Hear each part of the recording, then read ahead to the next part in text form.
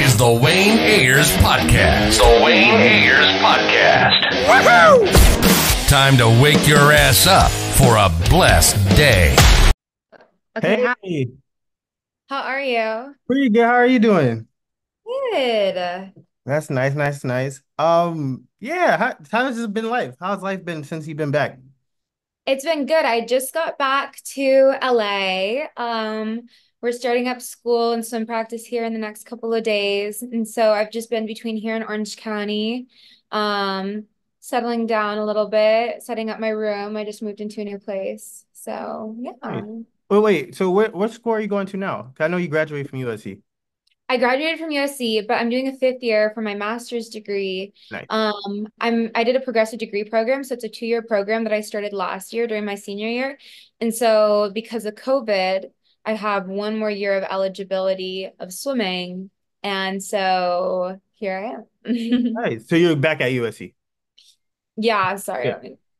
Yes. my notifications. Nice, nice, nice, nice.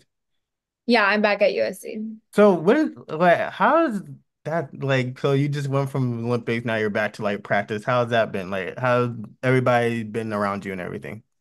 I mean, everyone's been the same. It wasn't my first Olympics. I went to Tokyo and um that was a crazy transition because I was uh staying in Orange County to train for the Olympics that year and then I went straight from the Olympics to school and that was a whole new environment for me.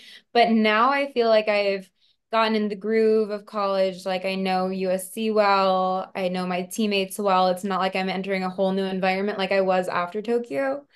And so this transition has been a lot easier for sure. And Right. I mean, I have my friends, everyone knows me. So That's nice. Okay, I want to start from like the beginning. I want to know like do you remember the first time you started swimming? Oh, that's a long time ago. I do. I do remember it because I hated it.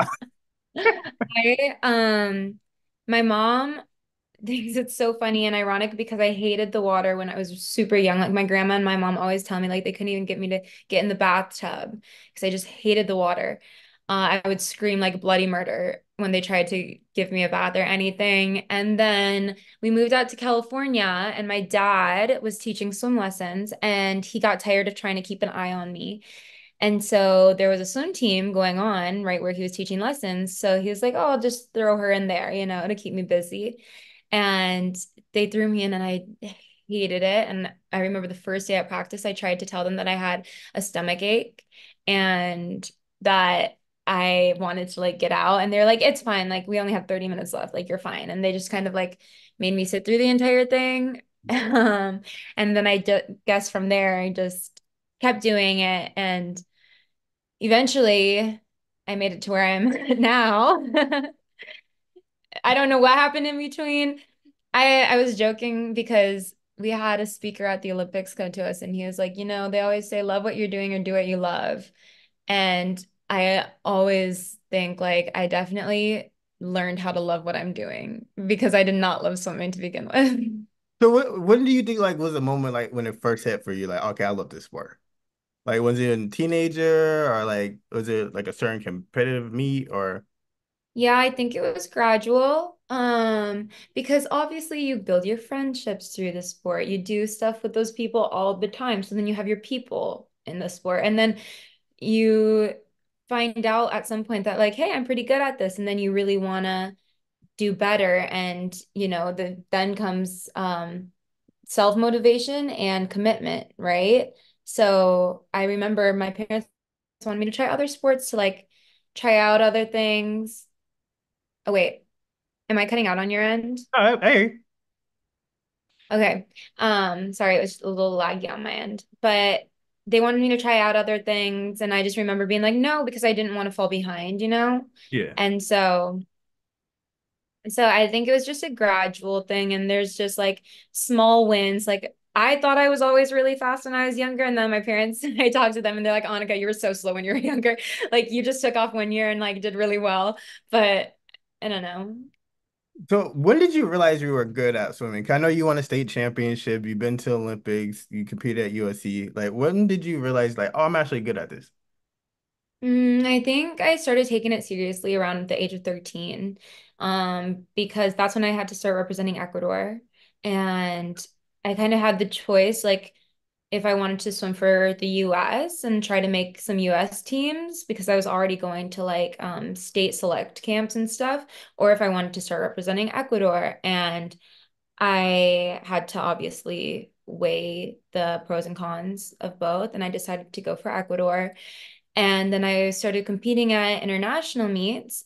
And I think that's when I, like I said, I started taking it more serious. And I think that's when I started realizing, hey, like I'm pretty decent at this. Like I was winning a lot of meets, I was competing nearly every weekend. And um, I mean, obviously sports have their up and ups and downs, but uh, I was steadily improving. And so Nice. How was like growing up in like in a swim like tradition house cook? I know your father was an Olympian too in swimming. So how was that?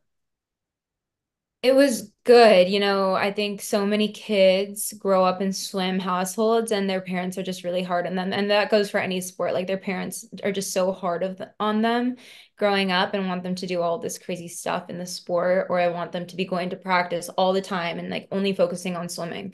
And I think that draws a lot of kids away from the sport. And luckily, my parents were never like that. Like, yeah, my dad was a swimmer, but he always gave me space. He was very hands off growing up in the swimming space. And like, we didn't talk about it too much at home. And like, you know, I cared for his advice every once in a while. But like, besides that, like, he never coached me and until seven weeks leading up to the Olympics in Tokyo. And because he always knew that I kind of wanted space on that. And so he he was very easygoing on me. And my mom knows nothing about swimming, and so that was easy. How was like that like period during like the Tokyo Olympics when he was coaching you? Like was it like, oh my dad's like actually coaching me now and like how was that moment? Yeah, that's a crazy story because um I was training with uh, another coach prior to that and I wasn't going the times that I knew I could be going and so my dad was like, "Hey, just train with me for a little bit." And so I was like, I don't really want to be training with my dad one on one.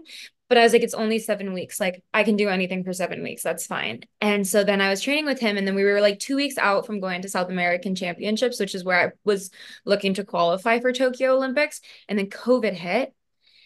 And so I was like, shoot, like, I guess I'll just have to keep training for a little bit longer. And what was supposed to be seven weeks turned into two years of training one on one with him. And that was hard because obviously all the focus was on me. So it's not like I could like goof off or go a little bit easier one day. Like I needed to be performing all of the time, which was extremely mentally draining. Um, and I didn't have my friends around me, which made it hard. Like they always say swimming's an individual sport, but it's very much like also a very social sport. Like it's your friends that want you that make you want to show up in the morning, you know? And so it was challenging, but I trained and competed the best I have ever competed in my life. That's nice. That's nice. How was it part being part of the uh, Gator Swim Club as well? Gator Swim Club was amazing. So now it's called Evolution Swim Racing Club. Nice. Um, it's their new name. And I mean, I love training with them. It was at the time, it was a little bit of a smaller club compared to some of the other clubs around us. Um, but I mean, it wasn't clicky at all. There was never like drama. Like it was almost like a big family. I loved, I loved swimming with them. It was amazing. That's nice. That's nice. Well, I, I know you spoke on this uh, or like talk about Ecuador and, USA. Like, what made you kind of go with Ecuador more than USA? Mm, I mean, my family comes from there. My dad trained uh, and competed for Ecuador when he was a bit younger. Um, and so I had already visited a lot. Like I had um, a lot of roots from there. And comparing the swimming and stuff, I knew there was a lot more room for opportunity. I mean, if you decide to go to prof- go professional, a lot of the smaller countries are offering to pay you more depending on how you perform, you know. Um, it's less competitive and they would probably give me more opportunity to travel and attend those meets. Whereas if like I were to swim for the US, I'd probably make a meet or two and then never swim for them again. so it would make it a lot harder to go professional, you know, unless you're like a Michael Phelps or something like that. Um, you can't really make a career as much out of Olympic sports because they're different from professional sports, which makes it a lot harder. No, I always respected athletes that like go back and like just oh I'm I'm gonna represent my country that my parents came from or something. Because like me personally, my mom's from Trinidad. If I was like the best athlete in the world, I would probably go represent Trinidad. So I think Right. yeah, I Yeah. think that's cool. Like US gets a lot of medals, they're gonna do their thing, but it'd be cool to like oh I brought home a gold medal for my country, uh, my whole family's country. You know what I'm saying? Of course. And then like once you're at those meets too, like it's really interesting dynamic because a lot of those smaller countries all join together. And so you know like you have each other's backs and you get to know each other. Like I know a uh, swimmer from Trinidad. Like if I were competing for one of those bigger countries, they tend to just stick to themselves and not really like go socialize as much. And so I would have probably never knew known as many people as I do now and made the friends that I have. No, that's nice. That's nice. I like that. Yeah. Um, let's dive into Paris Olympics. How was that like total experience? Cause I know some athletes are having like they were saying they had a good experience and like some bad experience. How was your Paris experience total?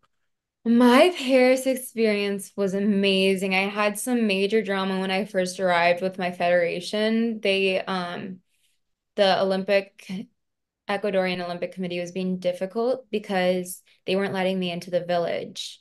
Um, and they weren't giving me my accreditation, which is wild because they booked my flights to get there early and then they didn't let me into the village. I had no place to train. If my family weren't there, I would have had no place to stay. I had no way to travel anywhere. So that was on Ecuador's end really crazy of them. But eventually I got into the village and after that that was an amazing experience. Um the How does that people how does that even happen? Because like you pay for their flights, so like how does that oh, they literally booked my flights and that doesn't make any sense how that I I don't know. They told us once we landed in Paris, they told us, "Hey, by the way, we're not going to give you your accreditation until five days prior to your race." I'm going to turn off my AC really quick. oh that's wild. Um, they were like, "Yeah, we're not going to give you your accreditation until five days before your race." And I was like, "No other countries are doing that. I are I know like tons of other swimmers that are already in the village. Um, I don't know why, like, I don't know if this is just a rule for Ecuador or something." And we tried to reach out to them and say, like, "Hey, you have an Olympian basically on the streets. What are you going to do about it?" and they left us on red. I was like, you're kidding me. Um, so I don't know why they wouldn't let me in. I don't know if they were reserving those beds for like other people because there were only so many athletes there at the time. Like I know they had enough beds for all the athletes. So I don't know if they were bringing in people or what. Like I don't know what the problem was or why they were being so strict about it. They never let me know. Um, but yeah. No, that's wild. Yeah, it doesn't make any sense because like if you're buying if you're paying for their flights and everything, you think that part would be already care taken care of. Well, yeah, like they literally booked the flight for me to arrive at that time. Like they knew I was coming in. So super odd. Um, but yeah, once I was in the village, everything was smooth, moving was easy. The people volunteering were so nice. The village was gorgeous. There were so many things for us to do. I honestly think I had more fun there than I did at the Tokyo Olympic Village. Um, just because there was so much more to do outside, like you couldn't really socialize as much. There were no areas for socializing in Tokyo because obviously they, they didn't want to spread COVID. But yeah, it was cool. That's nice. That's nice. Did you meet like anybody like from a different sport that you're like a fan of? I'm not a huge fangirl of anyone, but I did see Noah Lyles and I ran into him and he had a mask on and I was like, you, like I would just remember walking and I just recognized his eyes. I was like, you, I want a photo with you. And I, then I asked him, I literally asked him, he took his mask off to take a photo and I was like, you have a mask on, like, are you sick? And he's like, no, no, no, no, not sick.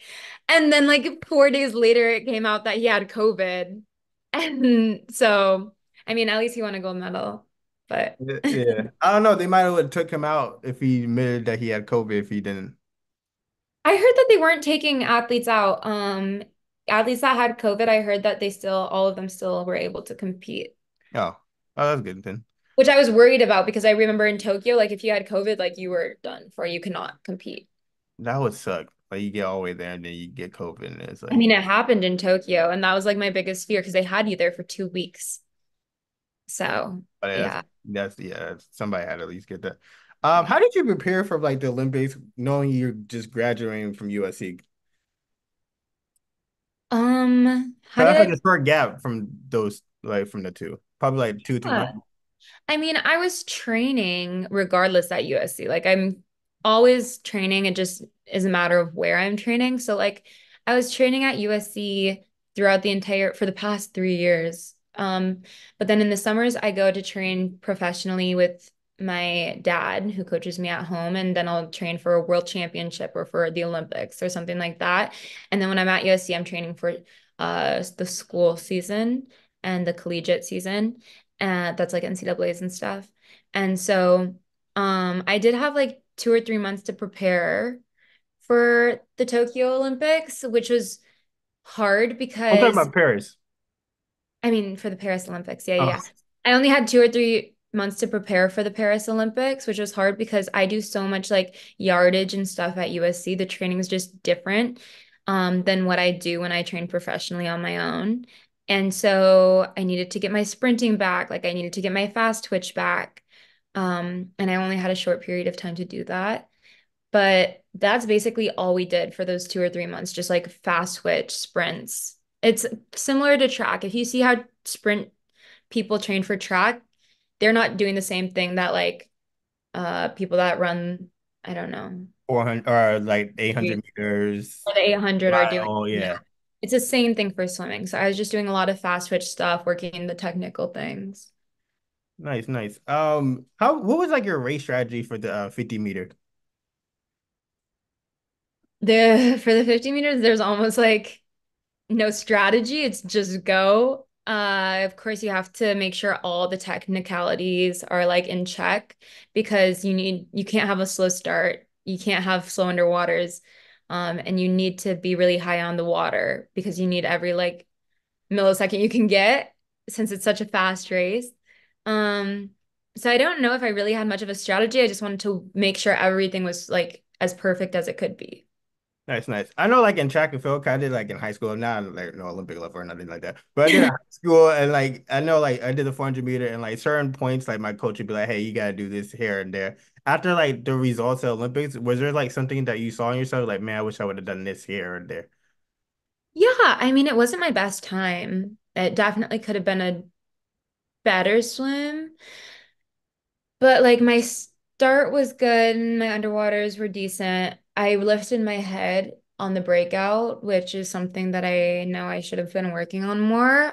I think in the water, I don't know what I could have necessarily done better. I haven't analyzed it too much because it's one of those things where you built up so long for it and then it happens. And then it was almost just like I don't, there's no point in like looking back so hard on it, like because I don't want to beat myself down for it.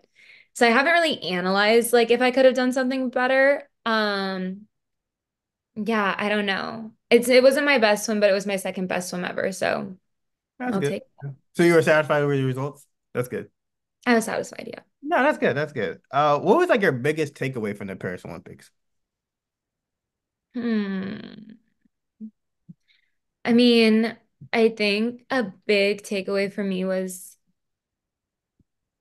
to be content with my results when I know that I've put in everything that I could put in. Um, because it would have been easy for me to finish and be like, oh, I could have done this better. I could have done this better. I should have done this because I really wanted to make top 16.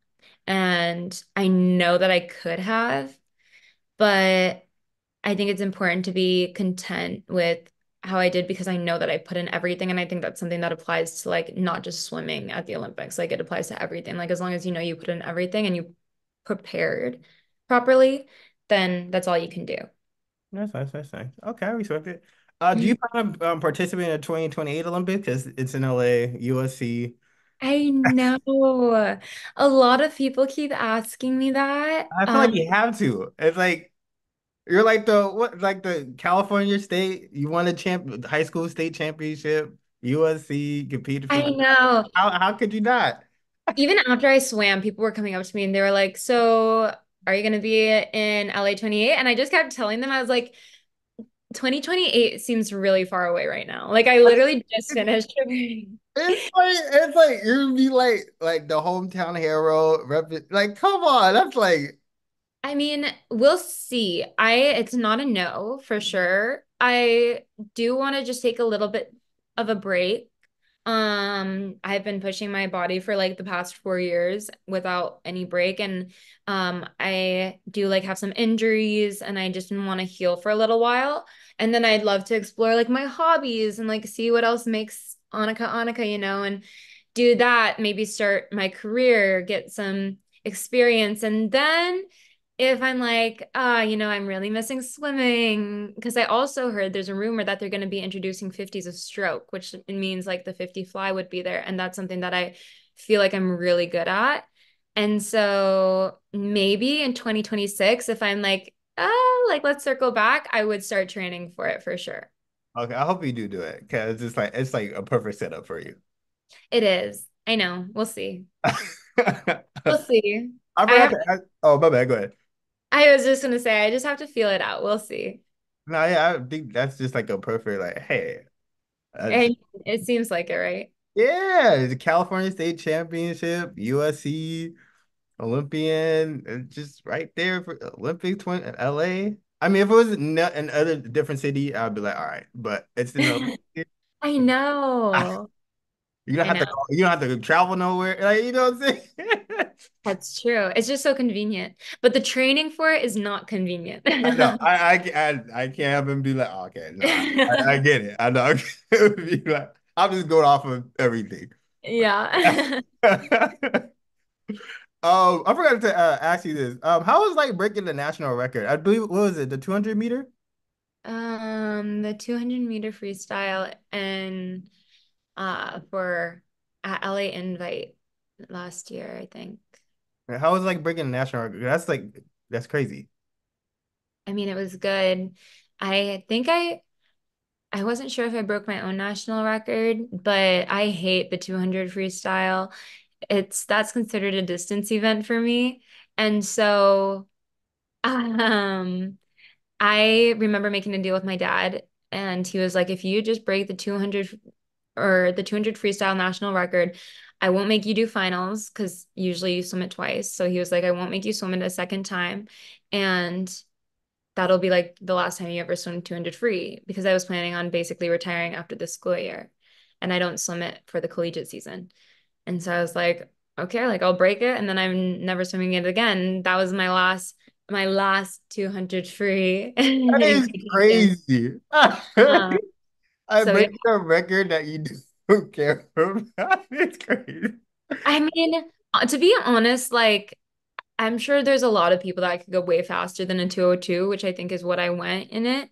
Like I think a lot of people could beat that if they wanted to. It wasn't a crazy fast national record. Um, but I mean, it's still a record, so I'll take a it. record. I feel like there's people training to do that at some point, and then they still you still had the best time of all time for it. Yeah, I just remember being like, I just want to get this over with. No, that's crazy. Um, before we want to get to like some fun and personal questions, like, so what do you enjoy um doing in your free time outside of swimming? Mm, I want to know the questions that people ask. Is this one of them? Yeah, these these are like the people ask. Okay, yeah. I was I was curious about that. Um, outside of swimming, what do I like to do? I like I like eating good food. I'm a foodie. I really can appreciate some good food. I like trying new places, but I also like sticking to what I know. Um, I like hanging out with my friends. Um, obviously, going to the beach is a big one. Um, learning how to bake new things. I feel like I have like a whole list. I like shopping. Um, I like going to the movies. I don't know. I I like doing everything that everyone else likes to do. So what are like some of your favorite food? Don't You have ask like food question. spots in LA that you like? Uh, I there are some food spots that I like. Um, I like Bell's Beach House a lot in Venice Beach. That one is just so cozy. It's great for a cocktail or something. Um, I like I just got hooked on Main Chick, which is basically like Raising Cane's and Chick-fil-A combined. Oh, that's a, how that's how I picture it. It's like think Dave's Hot, but not. Okay. No, Dave's Hot I like all three of those places, so I'm gonna have to check that one out. Try it. It's called Main Chick. Yeah, I like I Raising Cane's, Chick-fil-A, and Dave's Hot. So I recently been put on it, and I I'm have to actually check like out. it. Yes. Um, I don't know. I'd have you'd have to give me like a second. I love Thai food, local Thai food. Nice. Oh yeah, I love going to a Thai market on a weekend. I've never been. I heard it's really good. Way better than just getting Thai food. Like you just gotta go to Thai Thai I've heard it's really too. amazing. I need to get over there. yeah. The Thai market on the weekends is yeah. I was just there like what two weeks ago. It was it was amazing. Yeah, Yeah. okay. I need to check it out. yeah. That's that's the best place to get Thai food. Another thing I love to do is coffee shops. I love going to coffee shops. I love studying at coffee shops. I'm not even a coffee drinker, but like a good matcha or a good chai and like bringing a book or something, that's one of my favorite things. Nice. Have you been to Porto's before? Oh, I love Portos. Oh yeah, okay. I grew up going to Portos. I, I literally had it like four days ago. The potato balls. yeah, I just got hooked on Portos this year. I was like, yo, I've been in LA for like 10 years and nobody told me about. I think, It's so yeah, good. that's And they're uh, yeah. always packed. Yeah, no, but it go by fast. It's worth it though. I love some good Cuban food. Yeah, yeah, that's one. Portos is like my new spot now. Uh, Uh, who is your favorite athlete in any sport? hmm. I told you I'm not really one to fangirl. So I there's never been really someone that I'm like, I look up to them, like I praise them, I want to train like them, I want to be like them. Um, but I will say after watching Sprint on Netflix, the documentary, those girls especially like the Jamaicans. I don't know, I'm sorry, I don't know a lot of their names, but they are just so cool. Like the way that they train, how focused they are. There's one lady that's a mother and Shelly-Ann Fraser? huh? Shelly-Ann Fraser? Yes, Okay. her. And she's just like their focus is on another level as as well as their confidence, which I really admire because in swimming you don't see that. Swimming's a very nice sport. It's a very soft sport. There's not so much like tension between countries or anything. Like there's not really much drama, whereas I feel like track has so many more personalities. And I mean, even in the way that they are able to express themselves, they have the nails, the glam, the hair, the wigs, like all of that. Um, whereas with swimming, you can't really do that because we're we look like wet dogs all the time. So, um, to answer your question, I would say just those track girls that are the elite of the elite. That's nice. That's nice. Oh, next question is, what is your dream vacation? Mm, I really want to go to Thailand. I've had my eye on Thailand for a while. It looks beautiful. I'd also, along that, would love to go to the Philippines. My best friend is from there and she has a place there, and I've been wanting to go for a while. So, and I haven't traveled to Asia as much as I would have liked to. So I think somewhere over there, um, Costa Croatia is also on my bucket list. And my favorite place that I've traveled is Fiji. Uh, and I just love the people, the food. I would totally go back there. Nice, nice. Those are all beautiful places. Uh, okay, they they this is the next one. Who's your four favorite musicians? Who are my four favorite musicians? Oh, I'm such an indecisive person. Like you ask me my favorite food, my favorite musicians. Like I love whatever I'm in the mood for. Like I can't even give you a color that's my favorite. So it depends on my mood. But um right now, I guess over the years, I listen collectively to a lot of Kanye. Okay, I liked more old Kanye though, me too. but I do I think everybody else agrees with you. but I do like the Vultures um playlist that came out, the Vultures track. I also listen to this is totally far from Kanye, but it's Hozier. I like his music. It's very calming to me. I've slowly, there's a few songs from Billie Eilish that I like, um, but I don't like all of her songs. I'm very picky about the ones that I do like. And one more. Hmm. I like Peggy Gou Radio. I feel like all four of those artists are like all over the place, but that's kind of like But you're showing your range. depending on my mood, You're I'll listen your to range. one of those I respect it. Okay, the next one is like, what's the last movie that you watched that you actually really loved? Hmm. That's actually a good question. I can't even think of that. I really liked A Star is Born. That one, I don't get emotional during movies, and that one at the end actually made me cry. Like, I also am the type of person that will not rewatch a movie after I've watched it once. And that one, I will watch it as many times as you want me to, which is how I know I loved it. No, that was actually yeah. A Star is one. That's good. I'm trying to. I'm trying to think if there's a one before that. That's a good move. That's a good choice. Yeah, that's good. That's a good one. Uh, do you have any hidden talents that we should know about? I think I would have been really good at track if I could have done track because I can jump really high. I have a very high vertical jump. Um, like I have ever jumper? uh, maybe have you ever done like box jump and stuff? I've always been really good at jump doing box jumps. Um, I'm double jointed in my pinky. I can do I can bring it around like this. Oh. You're like, that's not what I was talking about. I mean, I that, was a fan question, so I I, that works I don't know. That's, ah. I mean, besides that, I don't have any any special talent. Unfortunately, not, no.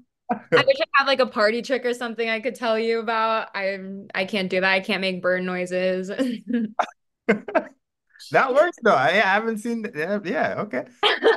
Like, whatever you did with your finger was cool, but Oh, what is your funniest memory from your swimming career? funniest memory from my swimming career. I don't know. I've been doing this for like over 14, 15 years. Um, this one's not really funny, but my it was definitely a memory. My dad threw me a football during practice when we were when I was training with my team, and I tried to catch it like this because I don't know how to catch a football, and it hit my pinky, and they were like, it's just jammed, and they yanked on it and stuff, and I felt the bone was literally like cracked in half. And so I fractured my pinky and I was out for like four months. Damn. Not really funny, but I can't tell you a funny memory off the top of my head, to be honest with Okay. you. You're like, where is this interview going? They're Uh, just like off the top of my head. I don't know. Oh, I I'll tell you. I mean, kind of funny. It was funny afterwards. I was in a relay for high school, and I'm just the, so the type of person to go with the flow. Like I show up to the block, I do what I need to do, and I'm out. And I showed up, and I didn't know which type of relay we were doing. It was a four by hundred relay, and I thought it was like a 200 relay, which is when every person does a 50. And so she flipped to keep going, and I thought it was my turn to go, and I jumped on top of her, the girl oh. that was coming in for me. And we like kind of stopped in the middle of the pool and looked at each other and we were like, what do we do now? Like, is that a disqualification? Is it not? And then I just kept swimming and like we just played it off and we got disqualified. But Uh, okay. Yeah, all right. That's a good one. That's a good one. If you could have one superpower, what would it be? I'd like to read people's minds. Ooh, I don't know about that one. I know, I feel like that could be good, but it could also be bad. But I just would be curious, like what people are thinking. No, that yeah, I And then you could like re respond accordingly, like you know when people are lying and stuff. Or I mean, another cool one would be to be invisible, of course, but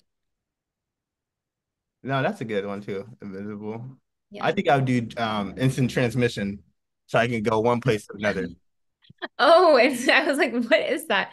No, Don't they yeah, you just like I want to go to Tokyo, just get to Tokyo, or you know what I'm saying? Take no flights. that would be super cool. Yeah, that would be kind of cool. It'd save you a lot of time, that's for sure. Yeah, you could literally go to, and you don't even need a passport anymore. Like, who's gonna tell you anything? Like, you just, So right, true. Like, how do they know? yeah, I might rob a bank just to cut. That was good. You're in and out. Oh no. Oh, what is your life motto? That's the next one. I think my life motto has always just been to not take anything too seriously. Um, things come and go, events come and go, um, situations, stress, all of it comes and goes. And like, I think it's all about perspective and how you deal with things in life, uh, and how you see them, and it that can make your life or destroy your life, you know? And so I just try to not take anything too seriously. Go with the flow. Yeah, good. Okay, the next one is if you're if the world was ending tomorrow, what would you do in the next 24 hours? Hmm. I would go spend all of my money. I'd go eat a ton of food. Um, and then I'd go by the beach and watch sunset and wait for the world to end. That's nice. That's nice. I, I, I respect that. I'll definitely be robbing. I'm not spending no money anywhere. I'm stealing. I'm gonna be, I'm gonna be the biggest You're criminal. I'm gonna be the biggest criminal in 24 hours. you're the people that like you're one of the people that everyone would want to stay away from the world around, and you'd be one of the crazies. I'm jacking somebody's Lamborghini and crashing for no reason. You know, I just say no reason at all. Just I'm gonna be a criminal for it. That's so funny. We're like opposites. I want to just go like buy a dog and use all my money to buy a dog, and then I'll go watch sunset with my dog. No, that's like you could do that. You know what I'm saying? Like that's I just want to do some criminal stuff. But all right, cool. At least I know I'm not going to jail for this. I'm gonna just one time I'm gonna try to do this. It seems Oh, like you have a lot of like in inner criminal things that you're really trying to conceal. Yeah, superpower would be like to be able to steal a bank in and out quick. villains Like are fun. Villains are fun. There's a reason why superhero movies go. I know that's I see your entire background. You have all the villains. I see you want to be a villain. Yeah, just just for just if I couldn't get in trouble, I would do that. Oh, and then last one is what message would you like to send to your fans and supporters? Hmm. I would just want to give a big fat thank you because I've received so many amazing, sweet messages and I can't reply to them all. Um, especially like during the Olympics, like I've just gotten nothing but so much love. Of course, every here and there, there's someone that has something to say that's a little hateful, but I've never really had the problem of dealing with hate or anything, which I'm very grateful for. Um, and I just love that they're willing to tune in on my life and be a part of it. That just means a lot to me because I'm not also like a crazy influencer type person that's always like, guys, like, how are you doing? Like, come along with the day for a day of my life. Like, I don't do that stuff really. It's really just me posting what I want to post. Um, and the fact that they respect that and they still give me a lot of support for it, I just appreciate. That's nice. Well, thank you so much for coming on the podcast. I appreciate your time, and I really hope you do the 2020 Olympics. Like, Thank you. I know. I I told you like if I if I do do it, you'll be the first one to know. right, cool. Thank you so much. I appreciate it. Yes, thank you. I'll talk to you soon.